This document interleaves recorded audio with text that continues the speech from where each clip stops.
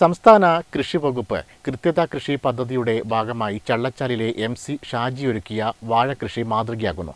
രണ്ടായിരത്തി അഞ്ഞൂറോളം വാഴയാണ് ഇദ്ദേഹം കൃഷി ചെയ്തത്. ജില്ലയിലെ വിവിധ ഭാഗങ്ങളിൽ നിന്നുള്ള കർഷകർ കൃഷിയിടം സന്ദർശിച്ചു. കാങ്കോലാലപ്പടമ്പ ഗ്രാമപഞ്ചായത്ത് പരിധിയിലെ ചള്ളച്ചാലിലെ എം സി ഷാജിയാണ് കൃത്യത പദ്ധതിയിൽ ഉൾപ്പെടുത്തി വാഴ കൃഷി ഒരുക്കിയത്. രണ്ടര ഏക്കർ സ്ഥലത്ത് രണ്ടായിരത്തി അഞ്ഞൂറോളം വാഴകളാണ് ഓപ്പൺ പ്രസിഷൻ ഫാമിംഗ് രീതിയിൽ പരിപാലിച്ച് വിളവെടുക്കാറായിട്ടുള്ളത്. മാതൃകാപരമായാണ് ഇദ്ദേഹത്തിന്റെ കൃഷിരീതി. State horticulture mission R K V Y കൃത്യത കൃഷി ഫീൽഡ് സന്ദർശനത്തിന്റെ ഭാഗമായി ജില്ലയിലെ വിവിധ പഞ്ചായത്തുകളിലെ കർഷകർ ഷാജിയുടെ കൃഷിയിടം സന്ദർശിച്ചു. കണ്ണൂർ ജില്ലയിൽ തന്നെ ഏറ്റവും വിപുലമായ വാഴകൃഷി നടത്തിയ കൃത്യത കൃഷിത്തോട്ടമാണ് ഷാജിയുടേത്.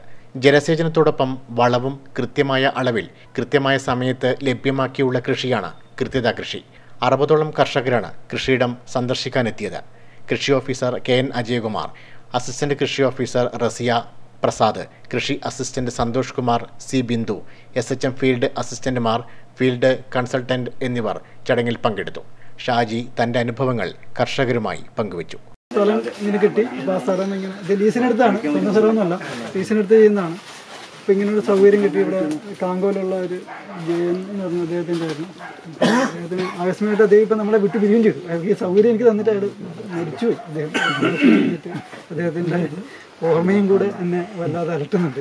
എല്ലാവരും കൃഷിയെ സ്നേഹിക്കുന്ന ഒരാളാണ്. ഇദ്ദേഹം സൗകര്യം ചെയ്തു തന്നാണ് അപ്പോൾ ഞാനിത് ചെയ്യാൻ തുടങ്ങി. നമ്മൾ ഇതിനകത്ത് അറിയേണ്ടതെന്ന് വെച്ചാൽ ഈ പിന്നെ ഈ ഒരു കൃഷിയിൽ നമ്മൾ ചെയ്യേണ്ടത് മറ്റുള്ള പുറമേ ചെയ്യുന്നത് ഇതുമായിട്ടുള്ള വ്യത്യാസം വേണ്ടത് വേണ്ട സമയത്ത് വേണ്ടത്ര വേണ്ട രീതിയിൽ.